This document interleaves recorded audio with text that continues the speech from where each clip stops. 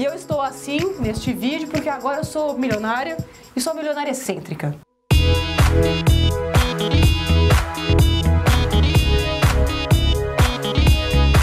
Hoje eu vou comemorar o meu primeiro milhão e te falar como eu consegui alcançar essa marca com 5 dicas práticas. É o vídeo para fazer o quê?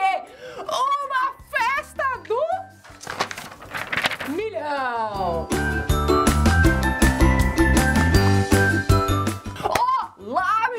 Meninas, sejam muito bem-vindos ao canal mais rico e, por que não, milionário deste país. Eu sou a Natália Arcuri, uma nova milionária. Não sei se você sabe, mas a cada não sei quanto tempo, surgem 20 novos milionários no Brasil e eu acabei de entrar para essa estatística.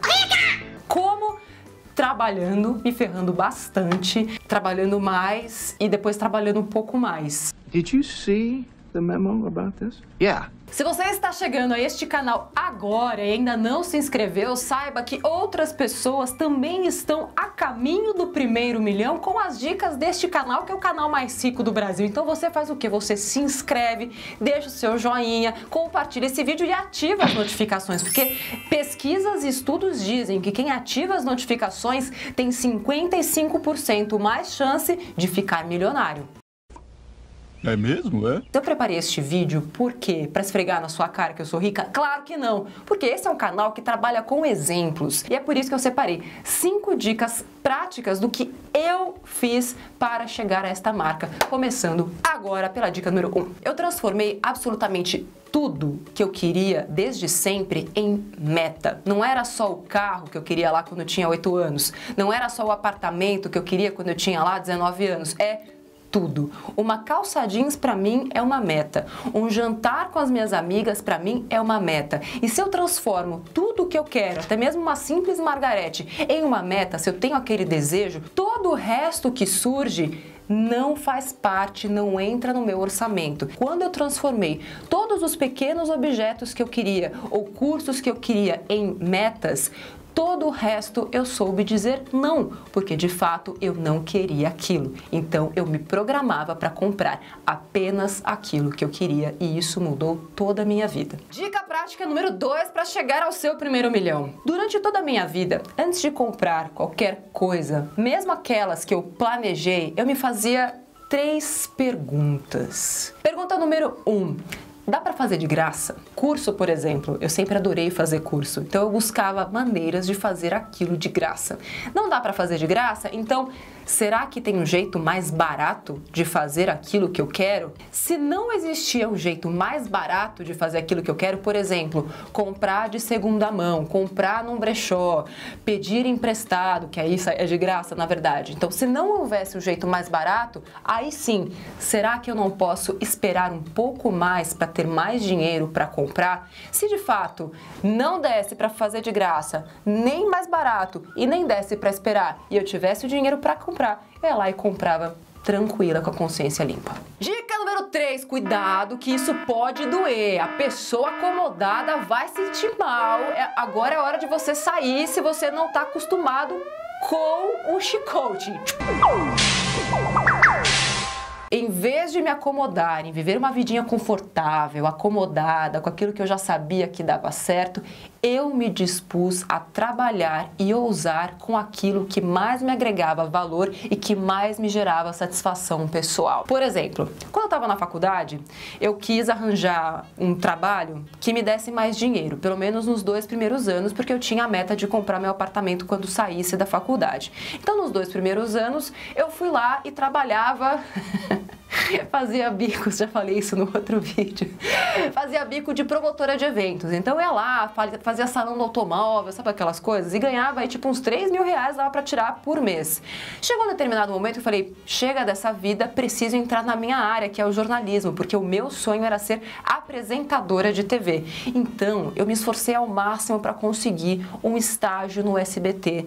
Consegui e troquei os 3 mil que eu ganhava fácil por 880 reais que eu ganhava e era muito difícil. Eu trabalhava madrugada, me matava, mas aquilo foi o que contribuiu para que eu tivesse muito mais valor de mercado e que depois me levou a ganhar um salário que era o dobro e que depois me fez multiplicar o meu salário seis vezes ao longo de toda a minha carreira de jornalista. Então, se você hoje está acomodado no seu emprego, que é bacana, mas você não está muito feliz, saiba que isso vai te deixar cada dia mais longe do seu primeiro milhão. Management skills.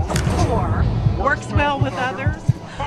Dica número 4. Isso aqui eu faço desde sempre. Falar menos, ouvir mais e executar mais ainda. O que, que eu sempre fiz ao longo de toda a minha vida? Se existe alguém que já fez e já errou, por que, que eu vou fazer aquilo que essa pessoa me disse que não deu certo? Ela me provou que daquele jeito não vai dar certo. Então, excluindo o erro da minha vida, eu pude acertar mais. Mas por quê? Porque eu soube ouvir, ler, seguir conselhos, ver os exemplos e saber de que forma aquilo podia cooperar para minha vida. Por exemplo, eu tenho alguns parentes que não planejaram a vida financeira, não pouparam para a aposentadoria. E eu percebia que quando eles chegaram na fase de se aposentar, eles tiveram problemas terríveis e, e tinham ansiedades e foi um problema para toda a família. Então, por que que eu ia fazer aquilo com a minha vida também? Foi por isso que eu comecei a poupar para a aposentadoria aos 19 anos de idade, o que foi excelente, porque quanto mais tempo eu tiver para me planejar,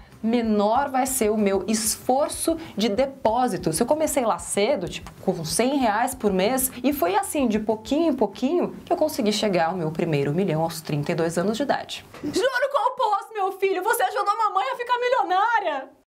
Não, Eu tô falando com você, juro com... não, não, não. Ele não é tão simples quanto parece. Tem que tratar o juro composto com carinho. Eu tratei ele com carinho, é que agora ele tá um pouco rebelde. E claro, a quinta e última dica, que é o que a gente ensina nesse canal para enfiar na sua cabeça. Lá atrás, aos 19 anos de idade, eu comecei a aprender a investir melhor o meu dinheiro. O pouquinho que sobrava, ou muito que eu sobrava, eu poupava 70% do meu salário. Sempre vivi também um padrão bem abaixo do que eu poderia, e essa é uma outra dica para você ficar milionário mais rápido. Todo o dinheiro que sobrava, eu investia. E aprender a investir melhor fez com que a rentabilidade daquele dinheiro que eu trabalhava tanto para conseguir, fez com que esse dinheiro se multiplicasse mais rápido. Então, hoje, 5% desse 1 milhão é só de rentabilidade adquirida ao longo dos últimos anos. 1 milhão, gente, não dá para falar que é rica, mas 1 milhão, tipo, é uma marca na vida da pessoa. Eu sou rica! E foram esses cinco passos que me fizeram uma mulher milionária. Nath quer saber, já comenta aqui embaixo. O que você faria se tivesse um milhão de reais investidos em apartamento, carro no Vale? Essa conta de um milhão é dinheiro, cash. Deixa o seu joinha, porque se esse vídeo chegar a 20 mil likes, eu faço a etapa número 2. Milionária, etapa 2. Outras 5 dicas que eu usei e uso para agora multiplicar o meu 1 milhão. Porque sabe que a meta é 5 milhões. Então a gente ainda tem um longo caminho pela frente. O que você vai fazer para conseguir o seu primeiro milhão? Comenta aqui que agora eu vou lá porque eu tenho que fazer muita festa que não é todo dia que a gente fica milionária, minha filha. Ah!